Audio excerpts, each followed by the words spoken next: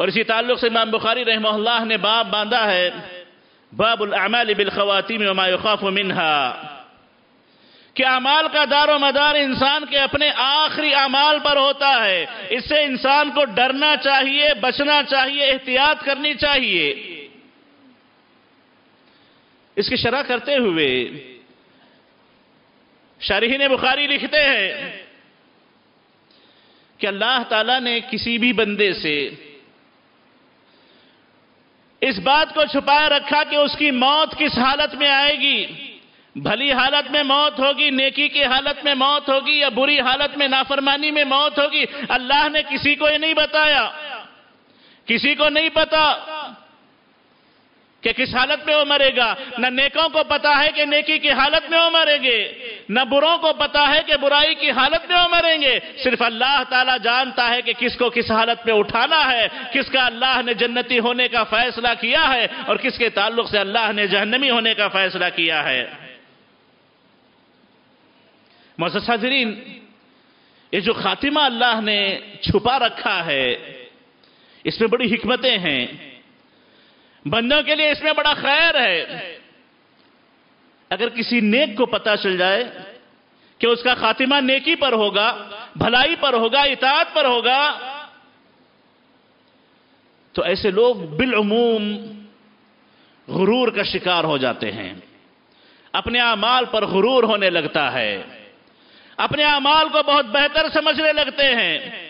फिर शैतान के बहकावे में आकर के वो अपने अमाल से, नेकियों से पीछे हट सकते हैं, सुस्ती का शिकार हो सकते हैं। क्योंकि उन्हें पता है कि उनका खातिमा खैर पे होने वाला है, उनका खातिमा बुराई पे होने वाला है।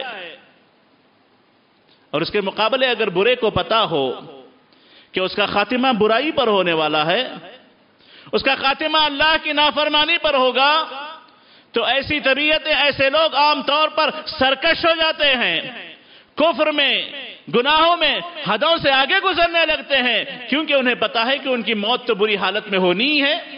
उनको उसी हालत में मरना है, इन दोनों से बचाने के लिए कि नेक आदमी को अपनी नेकियों पर गुरूर ना होने लगे, अपनी अपनी अपनी नेकियों से धोखा ना खा जाए, और बुरा आदमी अपनी बुराइयों से मायूस ना हो, और अपनी बुराइयों में हद से आगे ना बढ़े। इन दोनों के भले के लिए अल्लाह ताला ने खातिमा कैसे किसी इंसान का होगा, तमाम से छुपा के रखा है। किसी को नहीं पता कि किसका खातिमा किस हालत में होगा, किसकी मौत किस हालत में आएगी।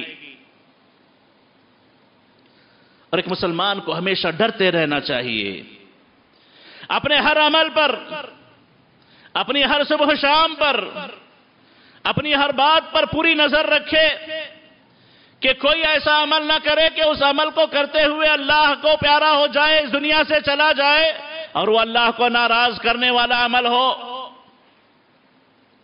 और किसी दूसरे को देख करके, बुराइयों में देख करके नेकियों में देख करके अपनी जिंदगियों के फैसले न करे, बल्कि उसका खौफ उसके साथ हमेशा लगा होना चाहिए। उसका डर उसके साथ हमेशा लगा होना चाहिए। और अल्लाह से हमेशा हुस्न खातिमा मांगना चाहिए कि अल्लाह ताला उसको हुस्न खातिमा नसीब करे। मौत हो तो नेकी पर मौत हो, भलाई पर मौत हो, अल्लाह की इतात पर मौत हो, और नाफरमानियों पर मौत से अल्लाह ताला की हमेशा पनाह तलब करता रहे।